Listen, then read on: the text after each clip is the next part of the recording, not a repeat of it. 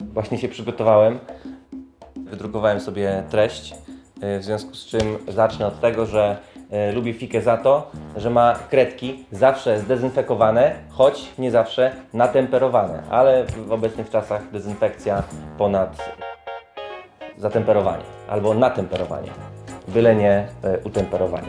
Ogólnie rzecz biorąc, fika to bardzo złe miejsce. Y, Jeżeli macie za dużo pieniędzy, jeżeli nie macie co zrobić z czasem, albo y, macie ochotę spędzić, no nie wiadomo czy miłe, czy niemiłe chwile w tym miejscu, no to zapraszam, bo nie dość, że Małgorzata Narożna Was zagada, no do tego jeszcze można się napić dobrej kawy, to też zajmuje czas.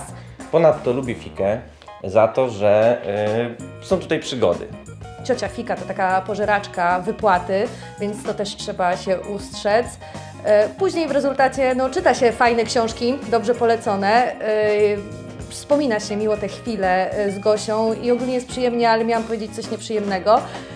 Staram się bardzo mocno, staram się bardzo mocno, ale muszę przyznać tutaj już na forum, że ogólnie jestem książkoholikiem i fikoholikiem i wszyscy, którzy tutaj będą przychodzili, muszą się z tym liczyć. Chcesz kupić książkę.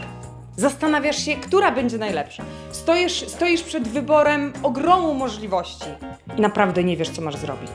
Fikasz bezpośrednio do księgarni, do Małgosi. Ona pomoże ci doradzić i znaleźć najlepszą książkę, o jakiej nawet jeszcze nie śniłeś. Śniłaś. Y, Lubię też fikę za to, że y, są tu książki. Y, Ale nie takie książki, y, które są podobnej wartości do gazetek z Biedronki, tylko takie książki, w których można poczytać o skarpetkach, y, a jak wiadomo, skarpetki są ważne w życiu. Nie, wyjdziesz z fiki tylko z pięcioma książkami, a nie z dziesięcioma.